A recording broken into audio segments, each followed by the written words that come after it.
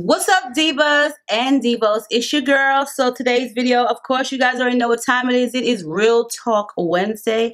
I do know that I do look a little bit different today.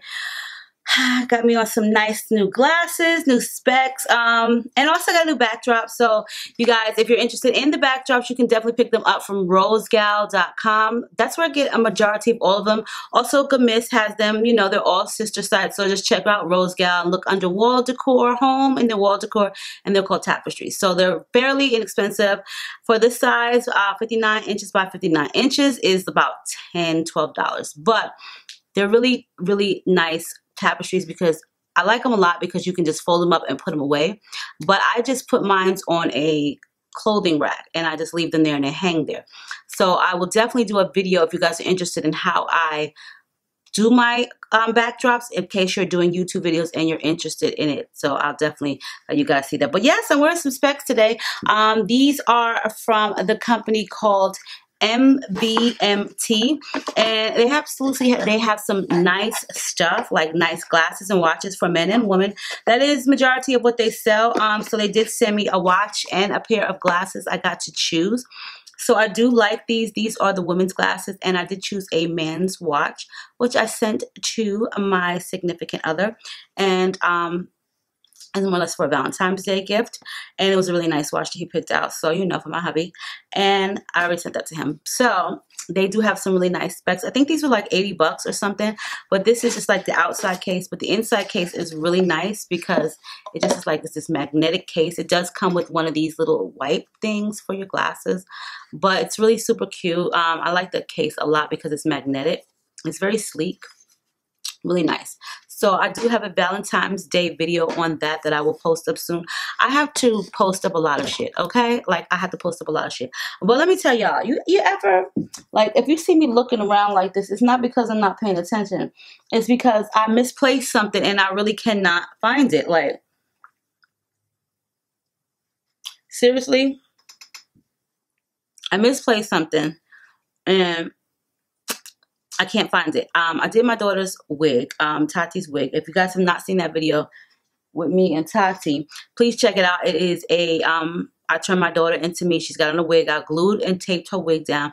And it looks so nice. But now I'm trying to figure out where the damn glue and the tape and the skin barrier is at. Like I had it all in a baggie and for the life of me, now I cannot find it, okay? So if I cannot find all of it, that's like $50 worth of stuff that I have to replace because the glue is 10. Excuse me, the glue is 20. The tape is 10.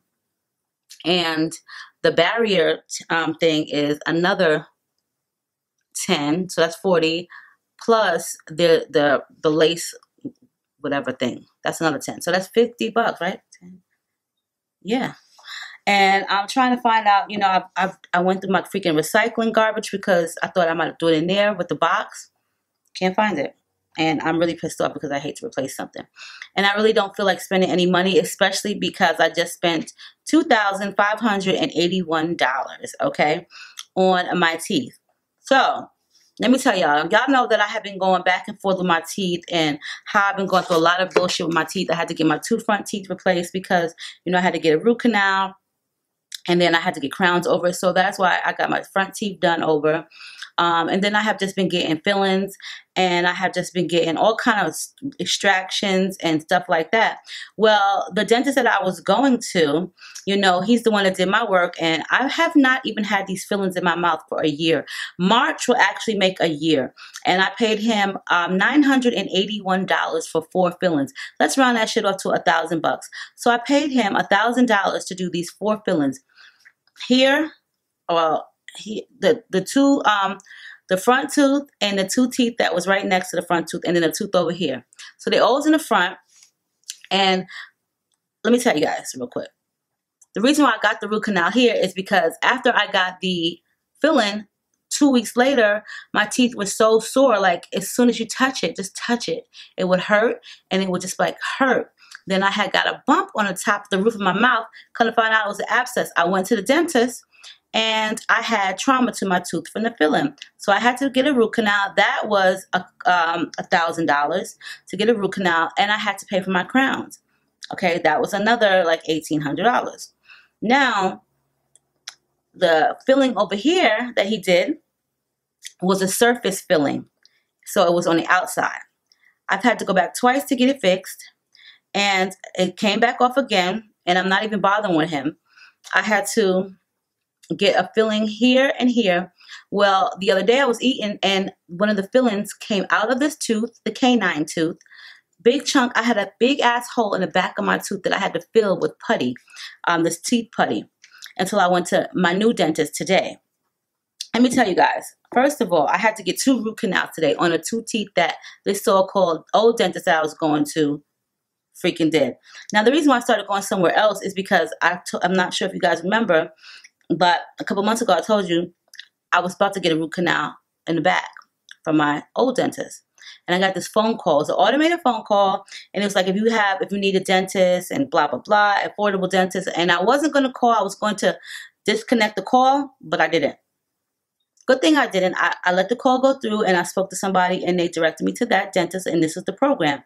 So it's basically if it's called, they're called unlimited, unlimited dentistry unlimited dentistry. And how this works is like this. You don't have to be on no financial aid. You don't have to have no insurance or whatever. It's good for people who don't have insurance. Um, so my entire dental work would have been close to $18,000 at this other place um, because I needed 12 crowns or eight in a bridge or uh, some bridge, some crowns. I need like eight or 12 crowns, partials, extractions, fillings, root canals, all that good stuff.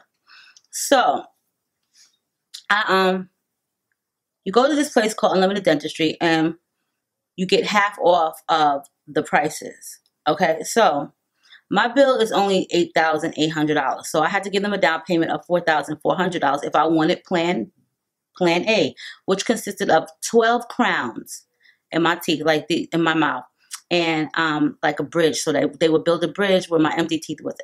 Or I could pay five thousand and five thousand a little bit over 5000 if I want only eight crowns and some partials, like, you know, I'd have a, a thing in my mouth where I put it in the back and it has two teeth on each side. So I went with that one because I just really didn't want to give up $4,400 today. So I went with that one. Now, the way it works is you you're part of the dentistry, not part of it. Like, oh, hey, we're gonna be cool. We, I'm gonna be working here. No, you just have to you have to pay like a membership. I, I guess that's the best way that I can explain it to you. So I had to give them 150 dollars to be part of the membership. You can still go to dentist day if you don't want to give them 150 dollars for the membership. However, if you don't do that, you're going to be paying full price. So I gave the 150 dollars for the membership because who the hell wouldn't? And it lasts me for as long as I'm a patient. I don't have to renew it or anything like that. It just stays, you know, whatever. I'm, I don't have to renew it. So I went today because I had to go get a root canal. Anyway, I ended up getting two root canals. Let me tell you, my new dentist, he's so cool. I had to shout him out on Instagram. He's super cool. He's younger and he's just like upbeat and he's like this wonderful, amazing attitude. In the whole office, I was in there cracking up. The other office, like they cool, they kind of a little bit reserved and kind of like on the not bougie side, but they just a little bit more reserved. And the dentist, I, you guys recall last year when I spoke of him, he didn't really have the, the best side, the best bedside manner, and he still really doesn't. He's kind of like no filter, but sometimes you gotta like sugarcoat shit a little bit for your patients. He's not like that. He's just kind of on a kind of like rough side. He's very um he's not he doesn't conversate with you. He just does what he does and he leaves the room. That's like very unfriendly to me. But anyway, cool, whatever. Just fix my teeth right. Well, he didn't even do that because all of the fillings that he's done for me, I have to get root canals on all of them. The new dentist, Miss Dr. Ben Cooperman, informed me and he let me see it on the x-rays, you know, the x-rays all of those fillings because he thought they were old. When I first went to see him, he said, "When? How long ago did you get these fillings? They need look, they they need to be replaced." I was like, "I didn't even get them a year ago." Okay. So anyway, today he shows me them as I'm getting my root canal, two root canals, and those fillings were so bad that the reason why they're falling out is because he didn't even put them in right, and they're all close to the nerves. So that's why I have to get all these root canals. Okay, which sucks. So now I've had two root canals today.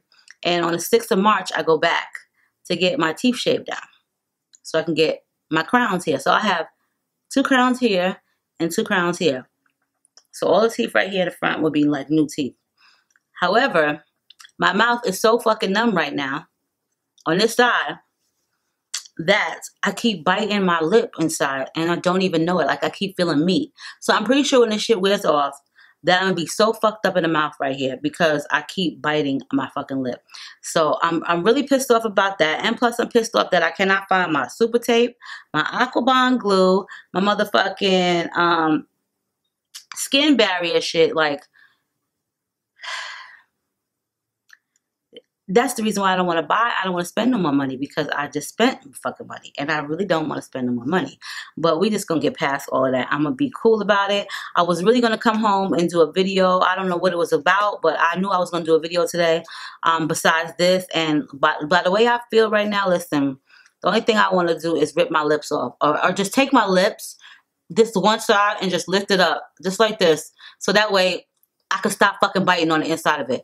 I'm telling you guys, I, I can't eat. I have tried to eat yogurt, and I've I've eaten the PC. I've eaten the yogurt, and I've had a sandwich, but um, I keep eating my mouth like. So that's the reason why I got my glasses on. I, I did at least put my eyebrows on for you guys. I got my head wrap on. I probably wore this shirt like two times in the real talk already, but let me tell y'all, bitches, this motherfucking clean, okay? So get the fuck over it. Um, and yeah, I, I was going to do a video on some jewelry that I had got, but you know what? It'll be tomorrow because when my lips come back to normal, you know what I'm saying? I won't be sitting up there going all like this on the video looking like a goddamn crackhead. So, mm-hmm. Um, now I have been, I, have I've lost two more pounds. So, you know, the last time that I spoke to you guys, I think I was like 193, 192 because I had went up. Now I'm back to 190. And so the one thing that I'm really not liking too much about the weight loss is this. My panties don't fit no more. Okay? Like I know y'all bitches is like, what girl? My motherfucking drawers don't fit. Like I gotta I had to I have some that fit, but the ones that I really, really like, they too small. They falling off. Who motherfucking panties fall off? That means that my ass is smaller. And my hips too. But I mean like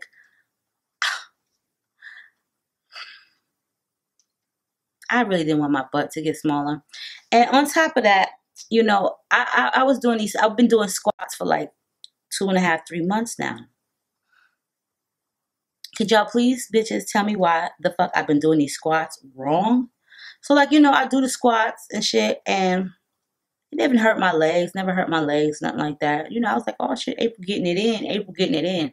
He said, this ain't shit. But I didn't see my booty getting plump or nothing. Like, I'm like, when is this going to take effect? Like, you know what I'm saying? When, when is, when is it going to get rounded? Because I'm losing it now and I'm to need it to get a little bit higher up and rounded because I am losing some of my booty. Um, yeah, I was, I, I was doing the wrong squats. I was doing them all wrong and I'm not too happy about that. But for the past week now, I have, um, I have been doing them correctly. And my fucking legs, let me tell y'all bitches.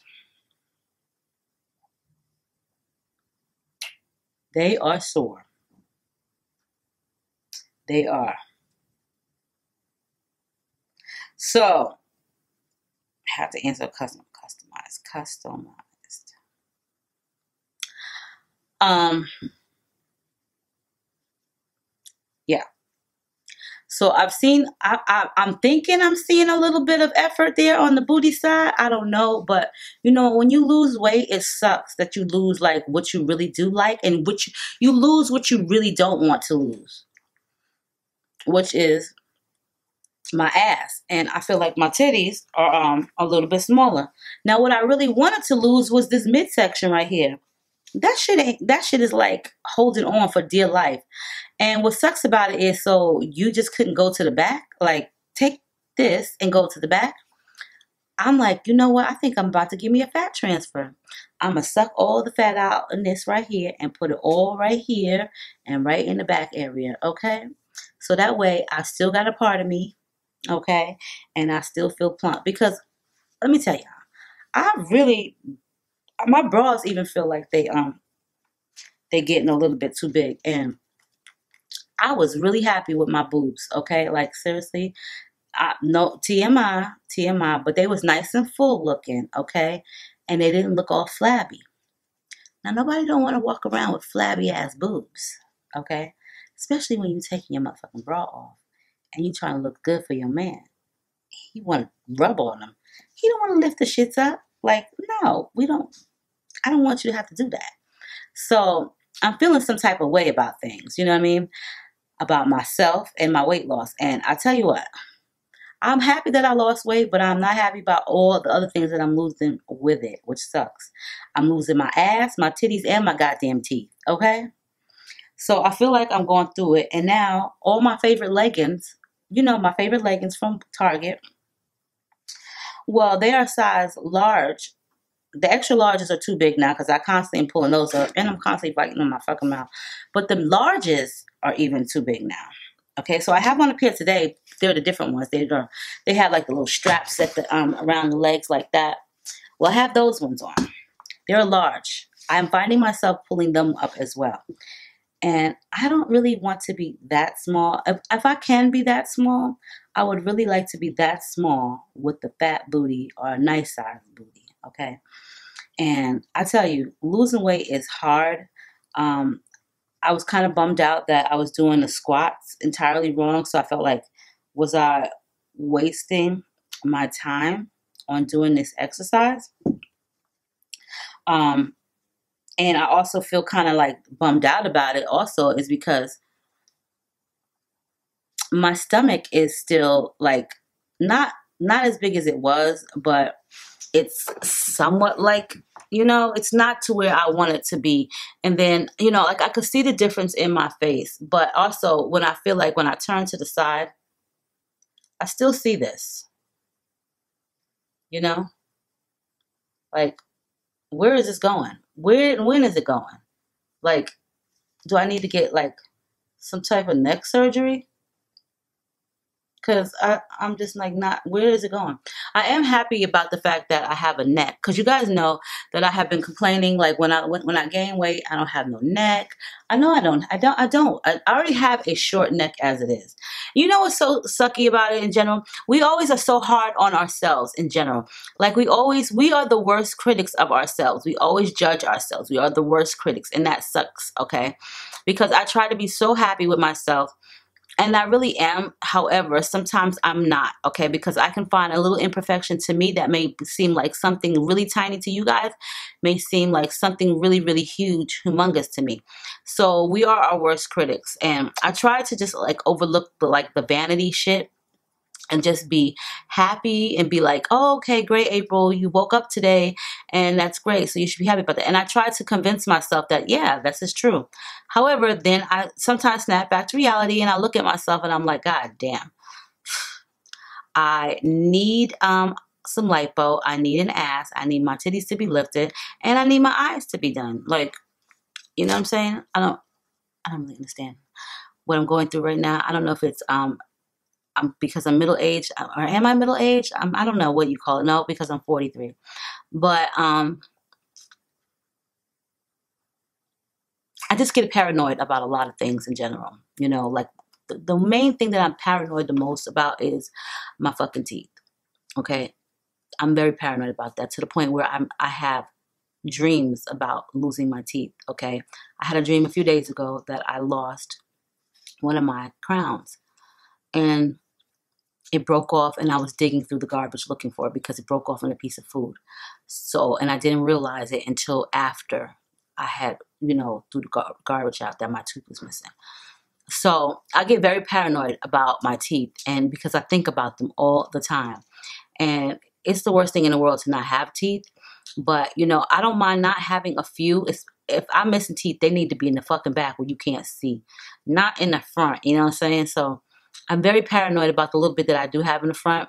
Um, so I, you know, I kind of dream up these. I, I kind of I dream up this these bad nightmares to existence, and I'm very paranoid about that. And I'm also very paranoid about gaining weight back. Okay. So a lot of things that I go through, I don't even, I just don't even discuss with people. I just keep it to myself because I try to feel like um, I just try not to worry about it. You know what I'm saying? I try not to worry about it. And I just feel like, you know what, April, you're just, you're being paranoid again. And it's not that bad. This, it's not that bad. But I'm pretty sure I'm not the only person that goes through shit like that in general. You know, I, I get paranoid about a lot of things. Um, I get paranoid about money. I always think that I'll never have enough money. And I think when you have children and you, you know what I'm saying, you, you probably feel that way in general. Like, I'm constantly saving stuff, I, money, or I just always trying to make money. Like, you know what I'm saying? So I'm probably not the only one that feels like that. I'm paranoid, like I said, about my teeth. I'm paranoid about my weight. I'm very paranoid also about my hair. Um, only because I'm just like, my edges are getting super duper thin and I just keep losing my hair more and more. So I'm very paranoid about that. Um, so it's money, weight, teeth, hair, um, and my eyes, my eyelids. Um, because um, I'm I have very hooded eyelids. So, and I, I, think it's hereditary because my mom's eyelids are like this. And as I just notice her as she's older, you know, her eyelids are very hooded and she, she doesn't have any lashes anymore. And so I don't have any lashes, but anymore due to my own circumstances, my own fault. And that's because wearing fucking individuals and strips all these years, they have taken my lashes away. I used to have really nice lashes. But anyway, so I get very paranoid about that those things. And it sucks because um majority of those things that i said are vanity things but you know i'm pretty sure i'm not the only one. Um but and i get paranoid about my love life with my husband like is it gonna work out? But other than that like i don't really discuss these things with people because you know um i just try to not think about it. And I, I guess sometimes when you don't think about things it doesn't make it any better. You know what i'm saying? Like just because i don't talk about it or i don't think about it I'm really still thinking about it in the back of my head. And I'm trying to just avoid the whole just thing of me being fucking paranoid about shit. And, you know, I'm trying to convince myself that it's not that bad. And I'm pretty sure I'm not the only one that does this. But at least I got some of it off my chest with you guys. I don't even know why I'm rambling on like this, but this is just how I feel about myself in general. You know, I, I always say to you guys, well, I don't care what anybody thinks, uh, blah, blah, blah. But in reality, it's not that I don't care what anybody else thinks. I don't really care what everybody else thinks, and then I do. You know what I'm saying? But I want to feel good and I want to look good for myself. Somebody may say, April, your eyelids are not that bad, or your weight is not that bad, or your teeth are not that bad. Okay. And in my my mind, I'm like, oh, you're just saying that because and I'm just feeling like this they are. So I guess, you like I said, I don't really care what people think of me or how I look. It's just how I feel, and I get really kind of not depressed, but it stresses me out sometimes that I feel so paranoid about shit. You know. But anyway, so we're gonna get into this real talk because I'm just like rambling on, and you guys know the drill, the drill, the dealio about real talk. If you have a real talk about that you want to discuss with me, I probably won't have no lip by the, by the time next week comes. You could always send me an email to muffinismylovers2012 at gmail.com. Please put in the subject line real talk. If you want to change the names of the characters in your email, you can do so by letting me know by just saying, hey, April, I've already changed the names of the people.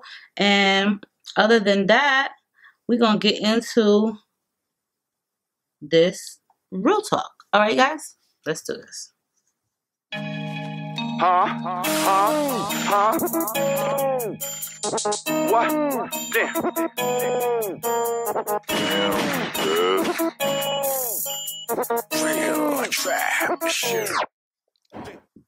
Okay, you guys. Hi, April. I have to warn you that this is going to be a long one. This is not actually my first time emailing you a real talk. If you remember, I was Paris, who had the drunk and a drug addicted mother who basically took my kids away from me by spreading lies about my then husband, saying that he was inappropriate with my twin teenage daughters. Well, that was a few years ago, and I'm happy to say that I have since gotten my kids back, but only after leaving my husband of 11 years, which had nothing to do with the case, but just that we had grown apart under the under the stress of everything that we were going through. Mm. Girl, I need your help again. My husband and I have been separated for about three years and divorced for one. I started dating a man that pursued me heavily, even though I was still kind of heartbroken over the way my marriage had ended. I knew his sister for years, who was a coworker at one time. So he saw that we were friends on Facebook and immediately she hit me up telling me that her brother was interested in me. We can call him Evan. At the time, he was very upfront with me about being married, but separated just as I was. He also had kids with his soon to be ex wife.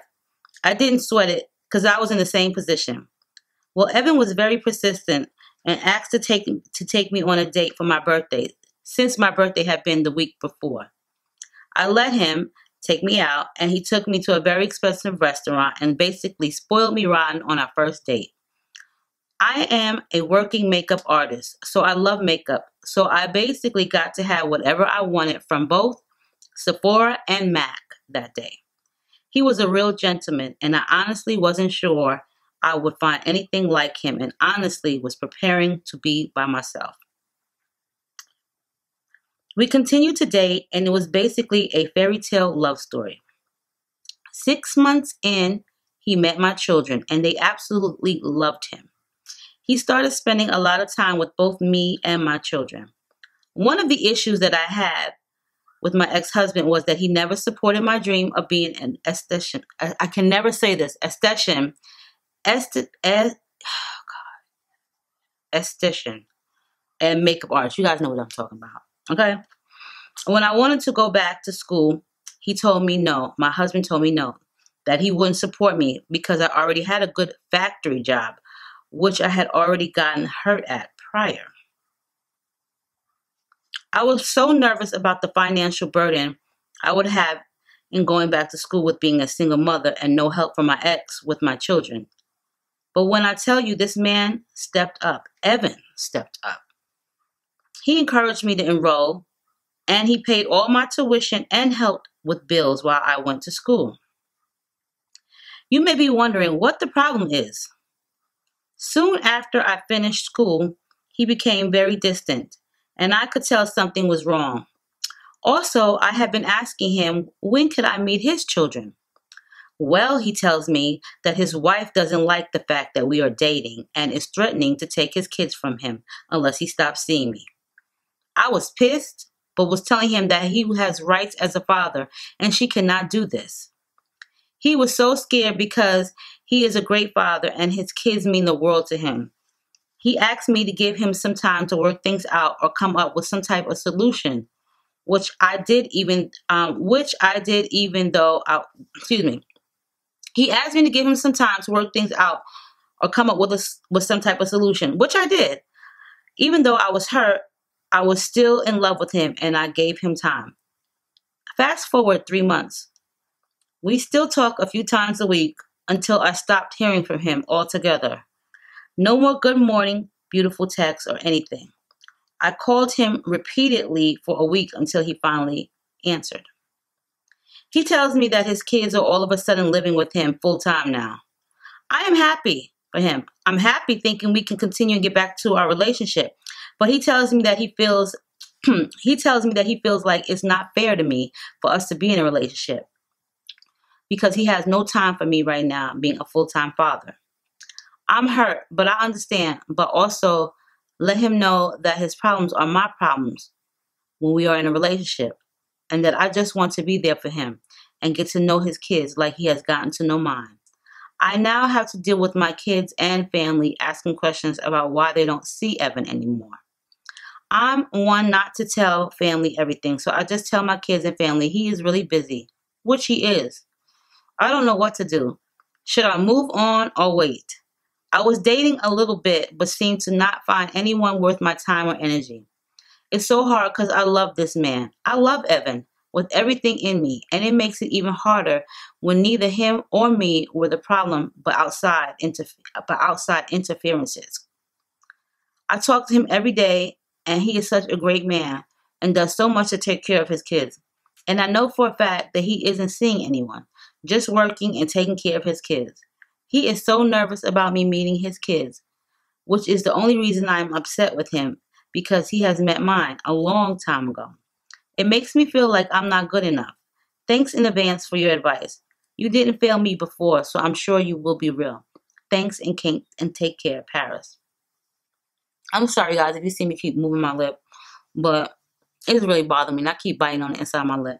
So Paris sent me some pictures of her and Evan, and they look so cute together. They make a nice couple.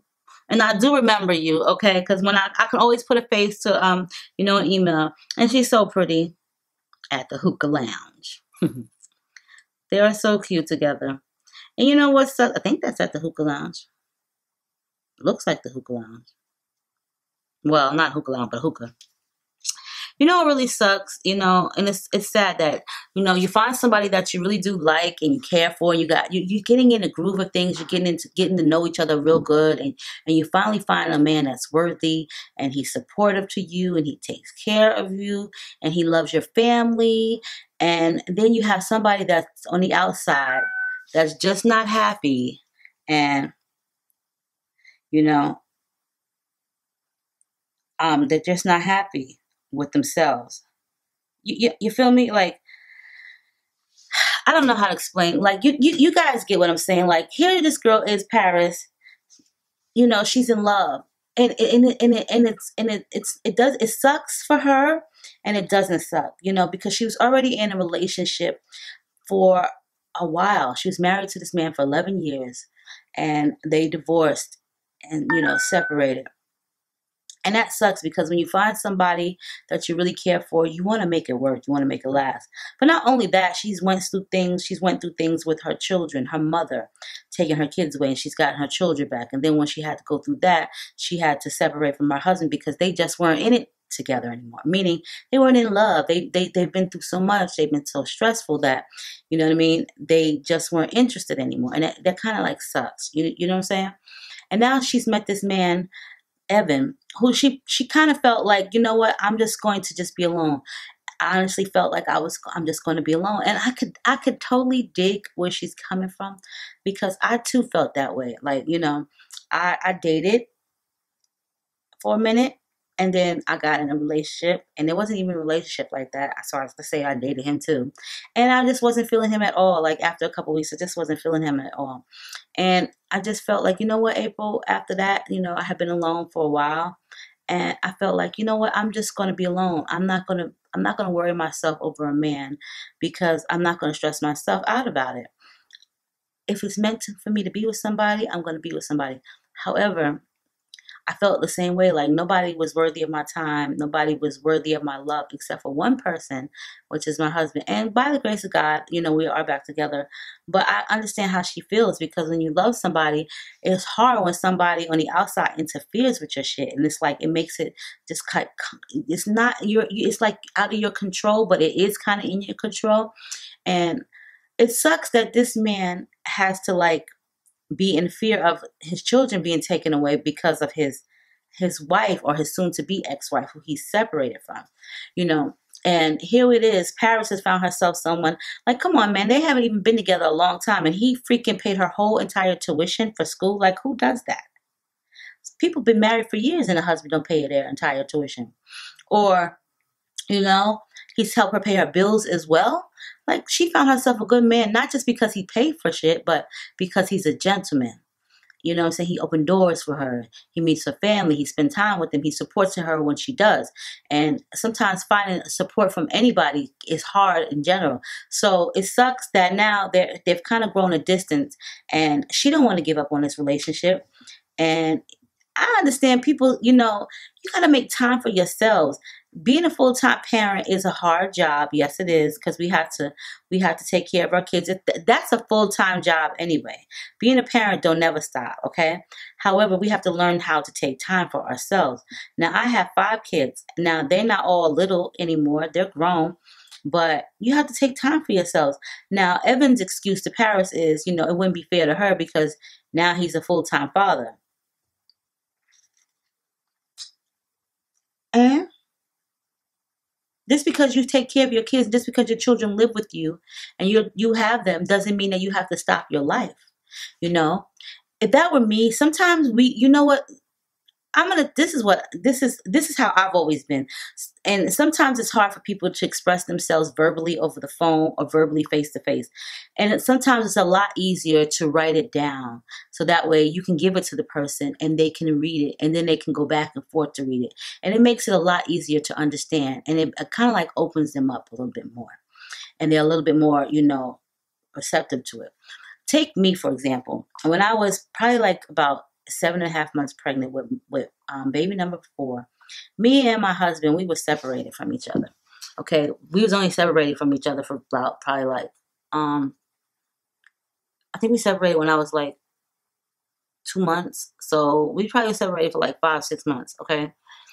But at the time we worked at the, we worked together, not at the same hours though. I worked during the daytime and he worked at the night. And this was a call center. But I was the administrator. This is before I worked for the health insurance company. Um, so I was the administrator. So I was at the front desk. So sometimes he would come in and get his check and I would see him off and on, but you know, we got to a point where we was arguing so much that we didn't even speak to each other like that. Over time, over you know, when we first kind of like separated, he he moved out and he went to live with his mother. Um, in the beginning, I was very depressed and I was hurt about it because here it is, I'm pregnant and you're not here. Okay, whatever. Eventually, I got over it, you know what I'm saying? And I moved on. When I say moved on, I didn't move on to anybody else. I just moved on with my life. Like, you know, I continued to take care of the kids that I already had. And I just went to my doctor's appointment. I went to work and I did what I had to do. And I would see him from time to time and we might spoke to each other. After a while, I just kind of like, you know, I lost interest. And it wasn't even that I lost interest, but I kind of like stopped fighting because I had kind of felt like I was begging him to come back and crying to him and crying to him, and he didn't want to. So after a while, I just left it alone because I had gotten numb and I had gotten over it. And um, I never forget, you know, he would see me and I would just be like, "Hi, how you doing?" And I would just keep it moving. Like if I'm not pregnant by you and I don't even know you, like we weren't even living together. This is how I started treating him, and it wasn't done intentionally. It was just because you know I was kind of like over it. I think I had been through more than enough that my depression and my state of mind was cleared. I was okay. I was okay. I, I went through my grieving stage. So I guess he feel like he realized that when I kind of like was over it, I guess I wasn't really paying him any attention anymore.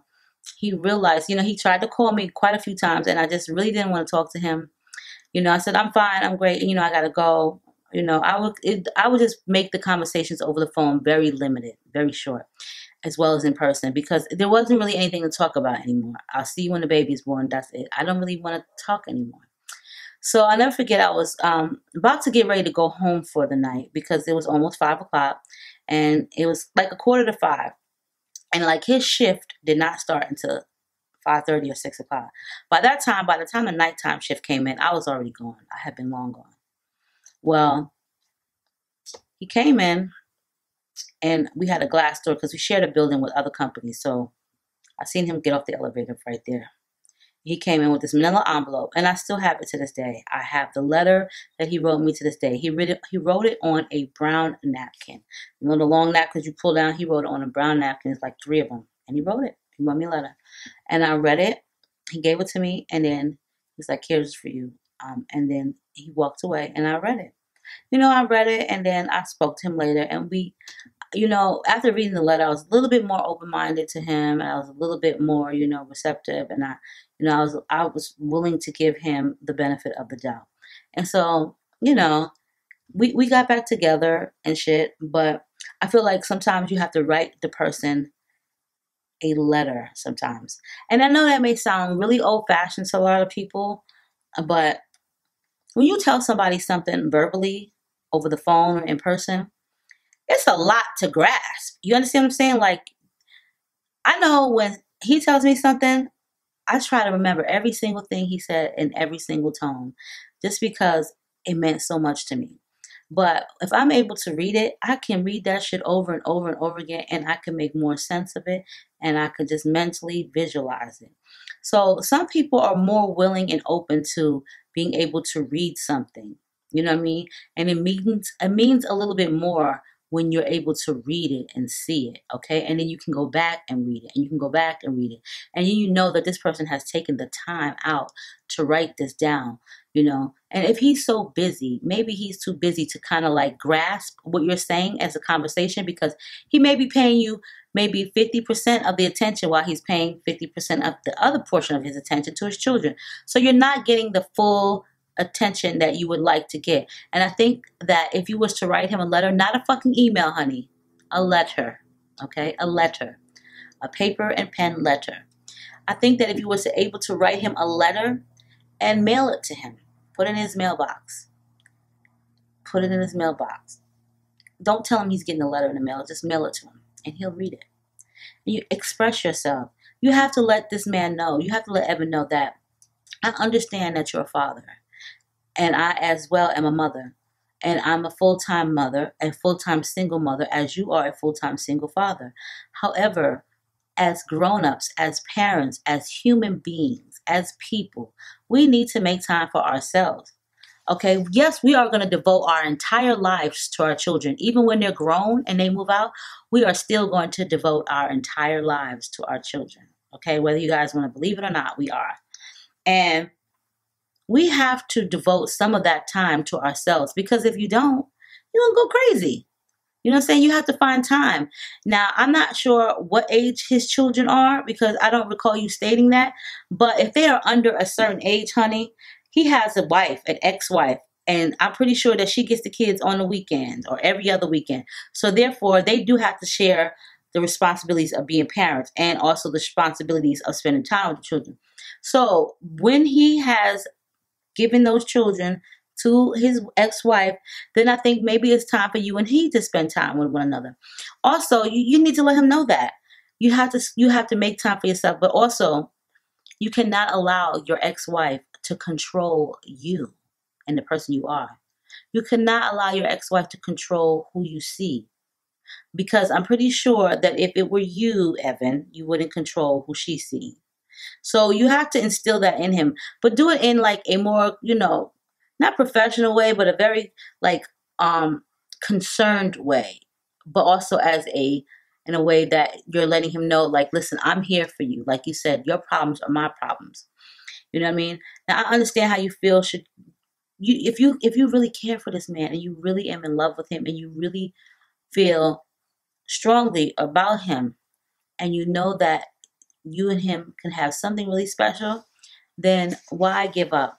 You know what I'm saying? Like it's a hard world out there, okay, these days, trying to find true love and a true gentleman and sometimes even a true woman. And when we do find one, you, we have to fight for them. We have to fight. So don't don't let his ex-wife stand in the way of your true happiness with him. Okay? But I also would not beg anybody to be with me. Okay? Sometimes when they see us and they see that we're like um, more or less being, you know, not pesky, but listen, I love you. Why can't we be together? We can't be together. We can't be together. Yes? Yes, I am. You know, when you're being pesky and being pesky, like, oh, yes, I love you. Yes, I love you. Yes, I love you. You know what I mean? Um, they they find us to be very vulnerable, and sometimes that makes makes relationship a little little harder. You know, you know, like like I like I used me and my my my husband for example when I was pregnant. You know, when we first separated, I was crying to him, "Please come home, please, I miss you." I was damn near begging, and I can't. We were going through too many things. And then when I started not paying him any attention, and it wasn't done on purpose, but I just was over it. You're not even like over it, but you know, I had my grief had run its course. That seemed like that's when he wanted to come around. And it seems like they do that. So if you calling him every day, every day, every day, every day, let it be for a little bit. You know what I'm saying? Back off a little bit. Cause you're doing all the chasing right now. And as much as you love this man, you doing all the chasing. Back up a little bit and let him see what he's missing because you're not giving him enough time to evaluate the situation and think about it. You know what I'm saying? Write him that letter. You know, write him that letter. And once you mail that letter, don't call him for a while. See if he calls you first, okay? See if he calls you after you get that after he gets that letter. Now you you guys living in the same hometown. So mail that letter. You know the letter's gonna probably take about two days to get to him. You know, let let let let let let time go by and see if he calls you once he reads that letter. Okay, I wouldn't keep calling him over and over and over again because you're not allowing him to come chase you. Sometimes when we show too much attention and we're giving them too much of what we got and we not allowing them to give it to us back, they're not gonna give it to us back. You know what they say? Why buy the cow if you can get the milk for free? That's an old saying. And I'm not saying he's being like that with you, but he's not answering phone calls. He's not um he's not willing to be in a relationship like that because he feels like it's not fair to you because he's going to be so busy. So he's more or less kind of like wanting you to chase after him. And some men do that just to see if they got it still or if you really do care. Hey, listen, I'm gonna be honest with you guys. I do that too. I, I've, I've done that many times to my, my ex-husband, soon to be husband. I've done that to him many times because it's it's a good feeling to know that somebody cares about you. But on the real Paris, the first thing that I would do is I would sit down and I would write him a nice lengthy letter and I would put it in the mailbox and mail it off to him. Okay? And stop calling him every day. It's hard when you really care about somebody, but sometimes you got to let them go so that they can come back to you. You understand what I'm saying? You don't have to date anybody else. If you feel like they're not worthy of your time, then why bother? Just give this time. Sometimes things got to work its course, you know? Sometimes people got to evaluate shit. And if he really cares about you and it's pissing him off, then trust me, he's going to come back around. He, he'll finally come to his senses and not allow his ex-wife to control him. But you need to also reiterate that in the letter, like, listen, you have your rights and it's not fair to you. That's what court is for. That's what child support and family court is for. Fuck that bitch. She ain't got she ain't running shit. Don't let her run your world. Huh. So on that note, you know I'm saying? Write him a letter. Let him know how you feel. Let him know, you know, gotta give himself time. Gotta give yourselves time to spend together. That's what it's all about. You know what I'm saying? Everybody's entitled to love and a relationship. However, we don't let nobody control it but ourselves. Don't let nobody else's miserable shit make you too unhappy. Let him know that also. Don't let anybody else's miserable life make ours unhappy. Okay? Now, moving on to the next. Hey, Miss April, you can call me Beth. First off, I wanted to say that I love your videos, especially your blonde wigs. To die for, seriously. Hey, Beth. Yes, girl, I love my blonde wigs. Yes. Thank you. Anyway, I'm nearly 18, and on New Year's Eve, I found out that I was pregnant. Congratulations, girl. I told my mom, and she was really supportive. However, my boyfriend, who I've been with for three months, has turned psycho. He's extremely jealous of everyone I see, and to begin with, wanted me to have an abortion and said that I can keep thinking I'm having the baby, but I won't be. He said that it should be his choice to get rid of the baby. He's told me who I can and can't have as a friend, said that my baby won't be around any people other than white people, and said that he doesn't want my baby around any gay, transgender people. My sister is transgender, and it hurts me that he says this. He's even threatened my male gay friend by saying that if he sees him, he won't know what hit him. He's extremely racist, sexist, and homophobic. He's also that he's also said that he'll be seeing the baby just as much as me and that he wants to come to every scan and also the birth. I just don't know what to do. He's doing all of this for control of me and the baby.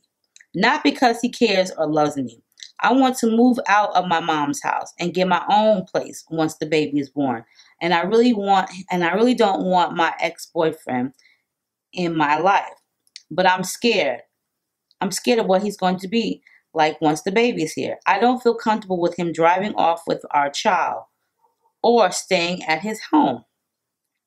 I'm not with him anymore and I just don't know what to do. He shouted in my mom's face and was very rude to her. He demands to see me, and if I say no, he calls me a whore, a slut, and a bitch. I've been thinking I should try and make it work with him because I know what it's like not to have a dad in my life. But at the same time, I know it's wrong. I'm such an open, happy, social person, and he wants to control every aspect of my life. I'm looking forward to having the baby and loving it and giving it the best life I can as a single mom, even though I'm young. What should I do, April? Beth. Did I just crack my neck when I turned my head? Because this bullshit is fucking ridiculous. First of all, Beth is 18 well, she's nearly, or she she's 18, or she's nearly 18. Okay, she's nearly 18. So on New Year, she found out she was pregnant, and you know she lives with her mom. She's got a baby daddy, and I guess he's white because he done told her that the baby ain't gonna be around nobody but white people. Okay, so I guess he's white. Now I'm not sure about Beth, but if he's prejudiced and racist and homophobic, then I'm pretty sure Beth is white too. Nothing against white folks, but what I am against is fucking racist motherfuckers, okay? So, first of all, he treats you like shit. He controls you. He tells you who you can and can't have as friends. He tells you that your baby cannot be around anyone transgender or gay or white, okay? And let's see. The number one kicker. He yelled up in your mama face and is rude to your mother. First of all, sweetheart Beth, what should you do? I would get a restraining order against that little cocky motherfucker, okay? Because what the thing, what the problem is, he picking on a pregnant woman. Now I can only imagine what he would do if some fucking body stepped to him like a real man. I can only imagine whether it be a black or white, Chinese, Puerto Rican, whatever color, okay, whatever race. I can only imagine what he would do if your um your baby father, we're gonna call him Tommy. I can only imagine what Tommy would do if a real man stepped up to him. He probably would run the other direction because I see coward, coward written all over him. Especially for the fact that he went to your mother, he went and got in your mother's face and screamed in your mother's face. That's all signs of disrespect right there. All fucking signs and forms of disrespect. When some when a man could do that to their girlfriend or wife's mother, he has no respect for anybody not even for himself, not even for his own mother. If he can do that to your mother, he has no respect for his own fucking mother. Okay. Now, that's great you having a baby, but I tell you what, I will be taking my little happy pregnant ass right to the court system and getting a restraining order on him because I wouldn't let him anywhere near my child, and I wouldn't let him allow, I would not allow him to tell me who and who I can have as friends. Now, if y'all ain't together, why the fuck is he worried about who you're friends with? Okay, that's number one thing.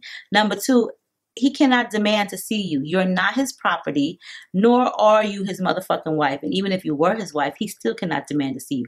But here's the kicker I don't know if you got brothers, but if I had one, because uh, if I were you and I had a brother, he would be getting his ass kicked. Tommy would be getting his ass kicked all up and down the block.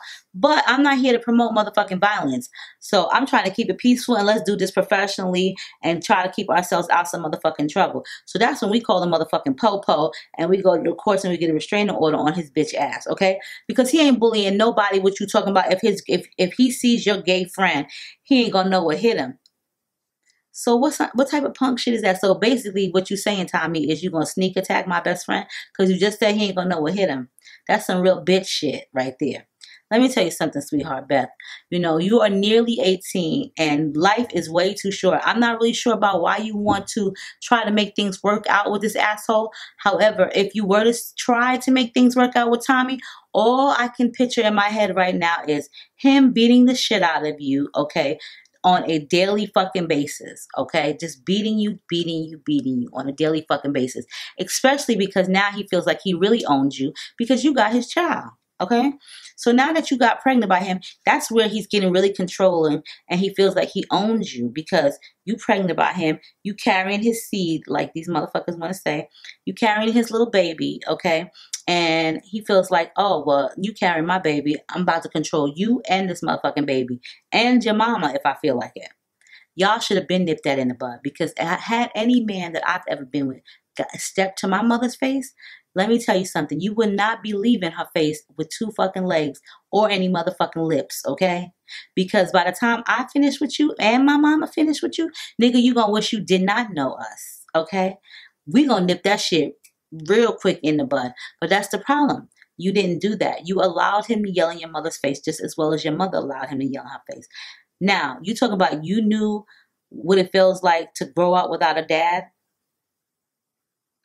So that's why you should try to make it work with your baby daddy. Because you know how it is to grow up without a dad. I hate to hear people say that, but it's still yet and still you young minded. You you nearly 18, so you young. So I guess you would say that. Let me tell you something, Beth. you don't need to have a father, especially one that's an asshole, that's abusive verbally and mentally to your mother. Do you think it's cool for your child to sit around and watch his or her parents fighting and arguing like cats and motherfucking dogs and her father beating on her mother because her mother just tried to make it work because she wanted a father for her child? What makes that so right? I would rather be a single parent than have my child in a household with two parents that fight like cats and dogs and and and just bicker and bicker and bicker. That's not a healthy environment for a child. Not only that, but child protection services will come and take your baby away from you, and it's called child neglect. Okay? It's a form of child neglect when you have your child in an environment that is nothing but negativity, violence, verbal and physical. You will lose your child to the state, honey. Okay? It's called child neglect. They will have your ass in court for that. And if you think I don't know what the fuck I'm talking about, trust and believe, I do because I've already been through this like um hmm 23 22 years ago before my husband. So I know what I'm talking about. Okay? They didn't take my children, but I still had to go to family court for child neglect because I was in a relationship that was not a good healthy one, all right? So, yeah. So trust and believe some things are just left the fuck alone. Yeah, we some of us grow up without fathers in our lives, and that just makes our mothers a lot more stronger. And that allows us to appreciate our mom a lot more, okay? That's what parenting is all about. We don't need both of them. Though it would be really, really nice to have both parents, but sometimes it doesn't work out like that. However, if it were I and my my baby daddy was an abusive asshole, I'm sorry, but you can kick rocks with no gym shoes or socks on and go about your business. I'm not about to try to sit here and make it work with you because I know what it's growing up like. I know what it's like to grow up and not have a father. Girl, bye. Okay, this is when you're time for you, Beth, to grow the fuck up. Okay, so you nearly 18, and I love you too. Thank you for watching my videos, but I'm about to give you some real fucking knowledge right now.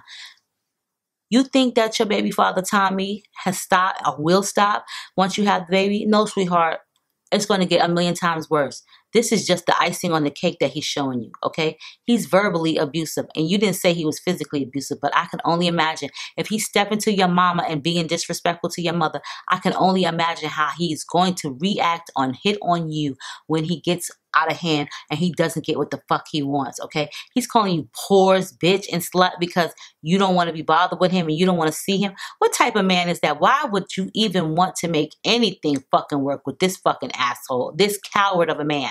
Okay, it's called it's called growing the fuck up. Okay, and as long as you allow this motherfucker to walk around and think like his shit don't stink, he gonna walk around and act like his shit don't stink. But God forbid he step to the wrong motherfucking nigger or a spick or a Chinaman, mm. he gonna get his ass kicked. And you know what? He's gonna deserve every last bit of it because he's disrespectful to women. And I see that. He's disrespectful to women. He's disrespectful to anybody that's non-white. Okay? That's that's not white. And I'm sorry, but I just really don't like people that are racist. Racist to color, racist to sex, racist to, to, to gays or transgenders or whatever. That's just racism all around. It's just fucking racism. I don't know if you want to call it homophobic or whatever, but it's just to me called racist. And I don't like either or. So, me personally, if this was me, I'd have a restraining order against that motherfucker. He wouldn't be coming around me. And the next time he come around you, try to harass you, girlfriend, please. I will be calling 911. Can you please send the motherfucking police over here because this bitch ass Tommy is harassing me.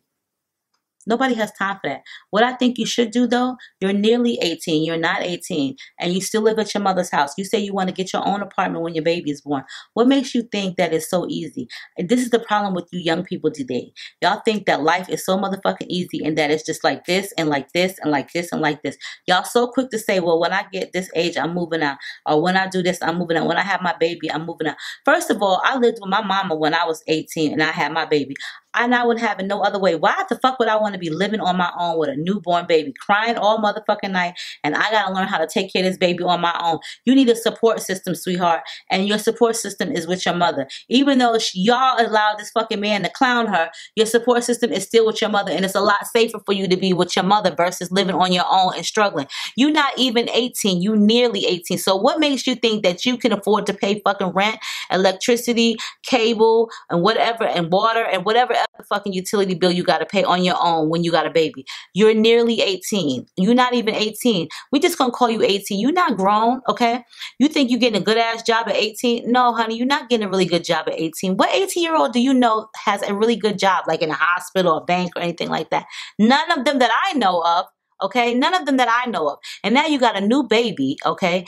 Which means you can't even go back to work just like that. But you got yourself a new baby, which means now you got to spend time with this baby. And so you got to wake up and pay bills and find a babysitter to take care of this baby and watch this baby while you go to work and pay all these bills.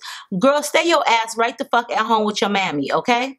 Stay at home with your mother until you learn some responsibilities. It's safer and it's cheaper and you got a support system.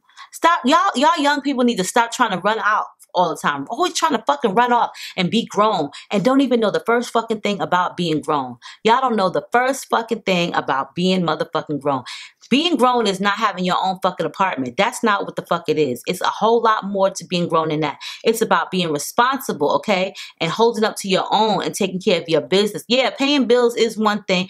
And just because you grown doesn't mean you have to have your own apartment. But being grown is accepting your mistakes, okay? Accepting reality and taking care of your business. That's what being grown is. Being grown is handling your business and putting restraining orders on people and realizing that it's okay to be a single parent. Being grown is taking care of your child alone, a single parent, and being strong. Not moving the fuck out to be struggling and your baby can't have shit and then you calling your mama like, can I please get some money so you can turn my lights on or help me pay my rent? That's not what being grown is. So don't think because you just had a baby that it's okay for you to move out. You only 18, honey. You still a child. You in your teens. You got a fucking psycho baby father on the loose that needs to be under control. And the first thing that you need to do is go get a restraining order against him so he can stay the fuck away from you. Yeah, if he wants to see the child, that's what family court is for. He could take your ass there. But trust and believe, if he ain't respecting you or your mama, he's not respecting his own fucking mother. And then he's talking about, oh, well, you need to have an abortion and he has to say so and you have an abortion and you might not be having it, all this shit. I wish that motherfucker would. So now what you need to do is you need need to let the court system know, well, he's threatening me and I'm scared for my baby's life because it seems like to me that from what he said, okay, about her having an abortion, you know what I'm saying? He says, um, it's his choice to get rid of it. So, motherfucker, how is she going to get rid of it? Because you can't force her to go to Planned Parenthood and have an abortion. So, what are you going to do? Are you going to give me an abortion? Are you going to push me down some flight of steps? Are you going to punch me in my stomach? Like, he, he's a psycho. He's a motherfucking psycho. He don't like anybody that's not white. Okay, first of all, I don't know what the problem is with white people sometimes. Not all white people, okay? But those who are racist against all different races, I find that to be very fucking pathetic, okay? And just fucking ignorant. Who the fuck goes around hating on people because of their motherfucking color? Like this, that shit is so old and played the fuck out. Like you would think racism and prejudice and all of that shit is old and and, and played the fuck out. Just like smoking cigarettes is played the fuck out. You know what I'm saying? I'm not hating on anybody that smokes cigarettes because I don't anymore. But I I would I would not think that shit is still trending. Just like race racial shit is still not it's not trending. But here it is. It's 2018 and we still got some racist motherfuckers in the world, which is sad and pathetic. But we still have them, and it's sad because you get these white people that feel like they get in they they get tough in their skin. They feel like they can rule the world. And then the first time they get fucked up by somebody that ain't their race, they like, oh well, they always after us and I hate them. Like you motherfucker started the shit, okay? You motherfucker started the shit. Just like Tommy. He talking about he don't like this person, he don't like that person. So you think just because the motherfucker is gay that he can't whip your ass? Let's let's not forget Tommy He's still a fucking man. Whether he's gay or not, he's still a man. And he could still whip your ass. Just because he's gay does not mean he won't whip your little white ass. Okay? Point blank, period. And that's the problem. They feel like, oh, well, because he's gay, I'm going to kick his ass. You must be out your fucking rabbit ass mind. There are plenty of lesbians that I know who will kick my motherfucking ass. I ain't trying to fucking beat you up because you're a lesbian. Shit. The point is, he is a psychopath and he's miserable in his own skin, okay? And all he's trying to do is control you. And so far, he's been doing a really good job with it because, hmm, let's see. You still allowing him to have a conversation with you. You think that I'm going to allow some fucking derelict nigga to a conversation with me when you talking shit like this to me? You fucking disrespect my mom. I'm not ever speaking to you again. After I handle you, there's nothing else to say after that. So you allow this derelict motherfucker to control you, and he is controlling you because you're still allowing him to call you and to speak to you and to come to your home and to scream up in your mama's face and etc. etc. Like there's no way on God's green earth am I going to allow a derelict because he's a derelict, Tommy's a derelict to control me. Okay, who has nothing better to do than go around and hate on everybody. One day he's going to need help, and the only people that's going to be around is the people that he don't motherfucking like. And God forbid he asked them for help and they fucking deny his ass. It would be such a blessing. So, sweetheart Beth, I hope you get it out of your fucking thick skull that getting back together with Tommy and trying to make it worth is not a healthy environment for you nor your child. Like, I'm sorry, but where where would you think that he was going to treat you like a good person after you guys got back together? Like, did you really foresee y'all future to be that so great. Like, oh, we gonna take picnics with the baby. He don't even sound like the picnic type, okay? This nigga sound like a fucking derelict. One who runs around and acts like a Nazi and is a jackass, like a total jackass. Yes. Okay.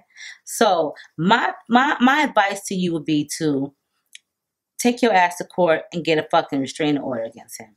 Because I wouldn't allow anybody like that up in my life. You ain't even about to be in my surrounding circle, nigga. Don't even walk on my fucking block, okay? I'm gonna make it so bad that you don't even want to walk on my block, all right? That's how I would make it. Like, I'm pretty sure you got plenty of receipts that can show the proof of how this motherfucker act so that way you can get him on a restraining order. But I wouldn't allow him to fucking control me, and I damn sure wouldn't allow him to tell me what the fuck to do and where to run and how to jump. Girl, bye. Talking about she she try to make it work. Should she try to make it work with Tommy? I guess if you don't want to live too long, bitch, and you want to have black eyes, then I guess you would want to make it work. But me, on the other hand, ain't trying to make nothing work with no fucking derelict. That motherfucker is a derelict. Y'all bitches know that motherfucker is a derelict. And somebody needs to kick his fucking ass. Hopefully it's a black person, a Chinese, a Asian, or a motherfucking gay. I, more or less, I hope it's somebody that's gay because she said it more enough times that he don't like people that are gay and all of this. Or I hope it's a black gay man. How about that? Mm-hmm. seriously. Somebody needs to kick his fucking ass. I'm telling y'all, by the time tomorrow comes, I ain't gonna have no lip. I'm gonna have my lip is gonna be so sore. So now we're gonna get on to the next one. Hi April, it's Natalie again. Feel free to use my name. Okay, well I just did so. Hmm.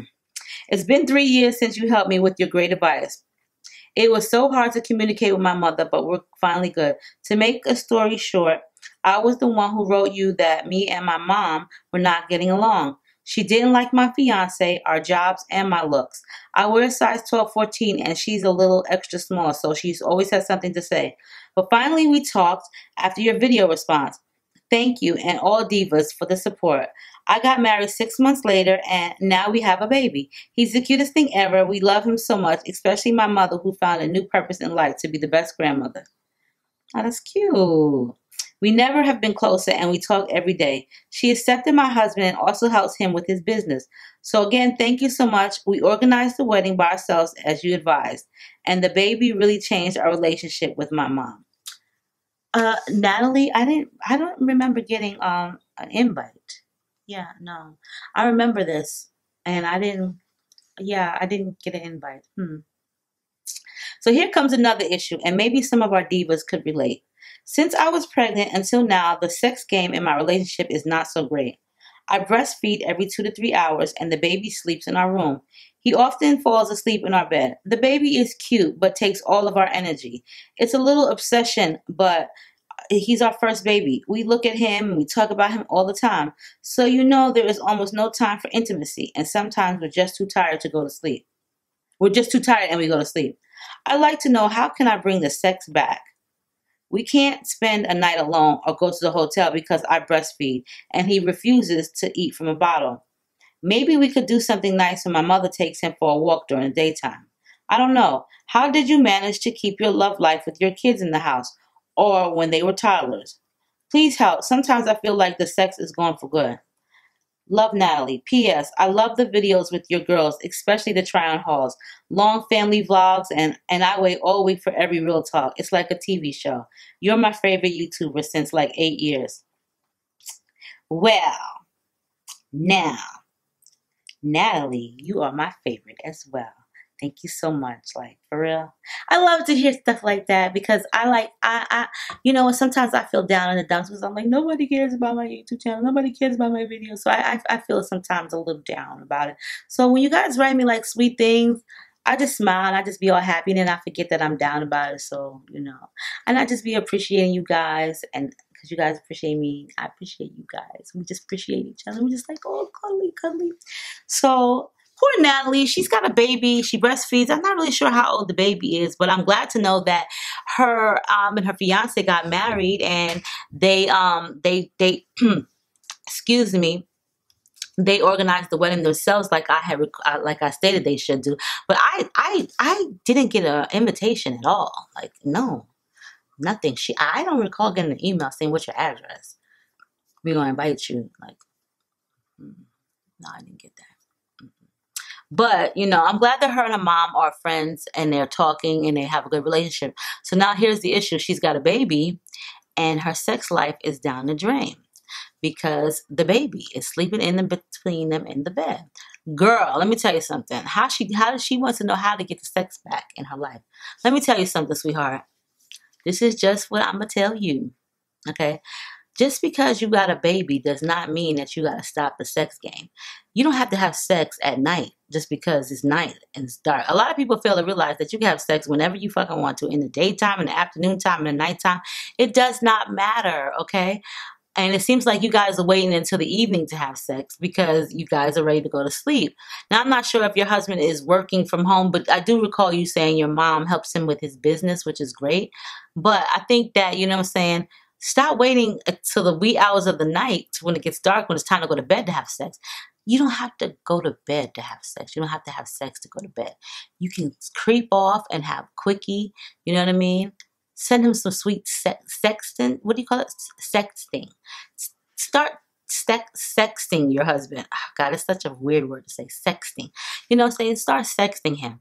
You know, like turn him on say sweet things to him, sexy things to him during text messages during the daytime. He'll probably come looking for you if you're in the same household with him, in the same house with him during the day. You know, you can sneak off while he's having, you know, a moment, a, a baby's napping. Baby takes naps, girl. You know, find a, a minute. It only you don't need all day long to have sex, though it would be nice. You know what I'm saying? Who don't want to have sex all day? Uh, but you don't gotta wait till nighttime to have sex. You know, so some people find it weird to have sex during the daytime, but not a bitch like me, okay?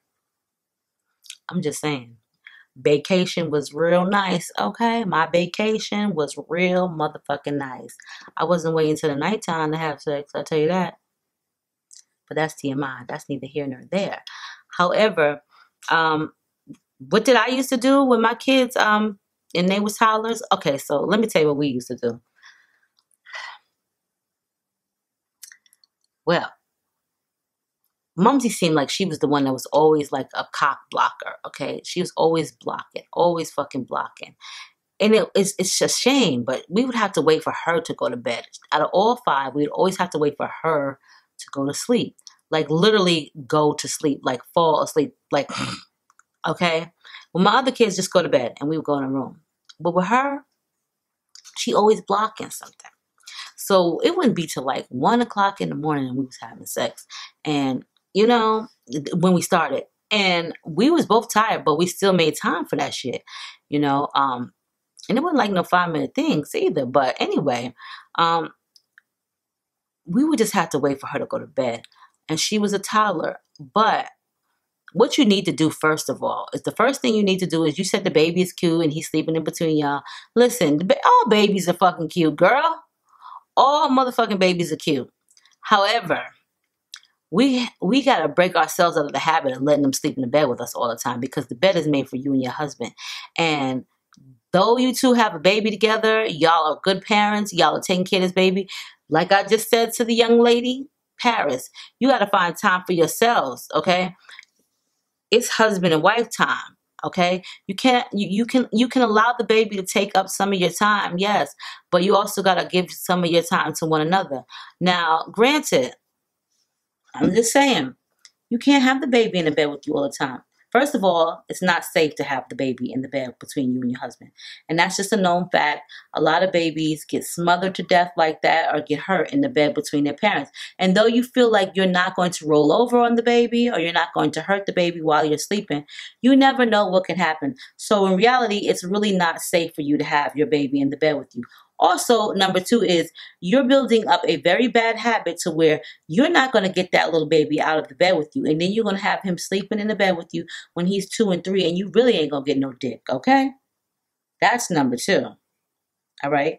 Three, you got this baby in the bed and he's like a separation, a wedge between you and your husband.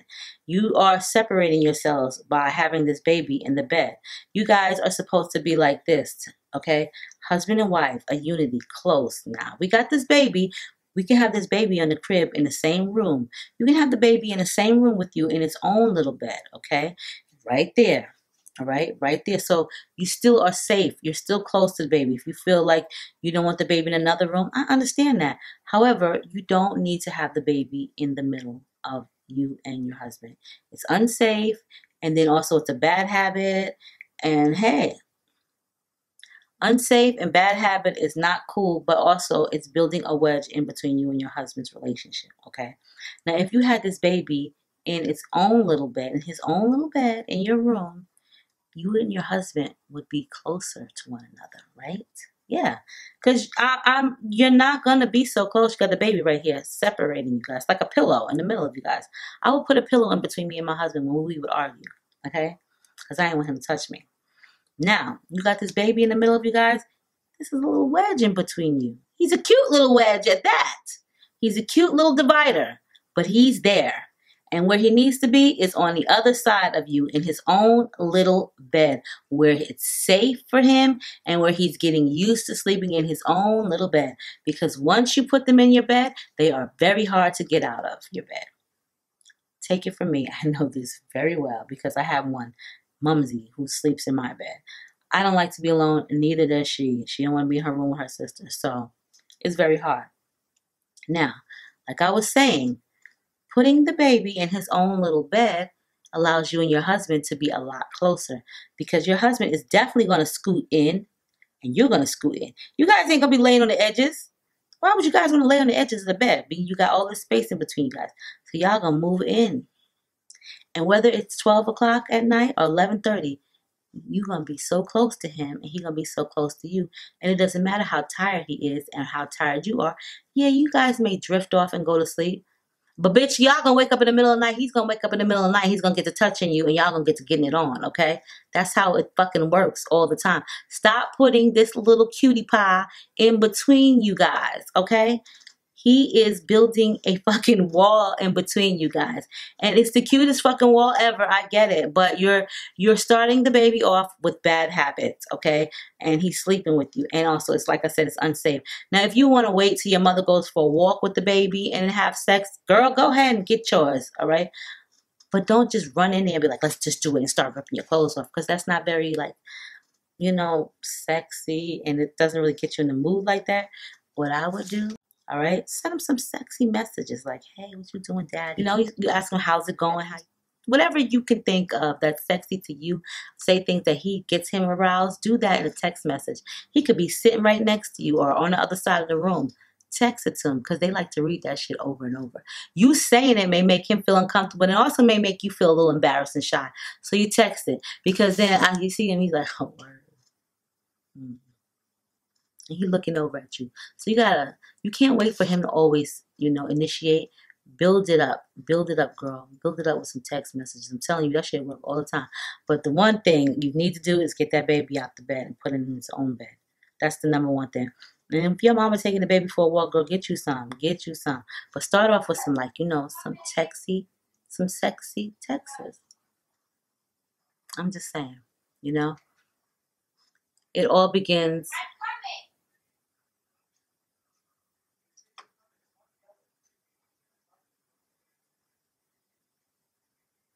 Mumsy is going off on Wuzzle. Um, but it all begins with, you know, some some some type of conversation. you guys have to get the baby out the bed. That's number one. You ain't gonna have a sex life if you got the baby in the bed with you. Your sex life is definitely gonna go to shit. How y'all gonna how y'all gonna hump with the baby right there in the middle? And then if you take the baby out the bed and put it to his own bed, it might wake up. He might wake up. So my guess to you would be, hmm, I'll put that baby right there over there. Now I, I get it. You say you breastfeed every two to three hours. I get that.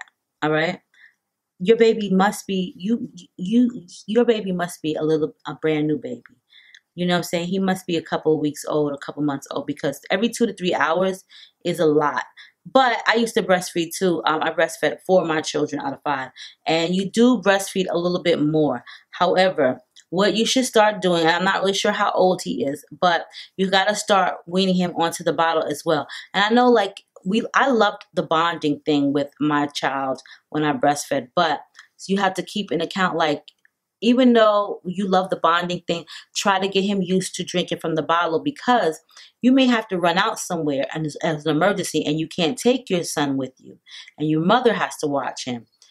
It's going to be really hard for the baby and it's not going to be fair to the baby as well if he doesn't have anything to drink because he doesn't like to drink from a bottle.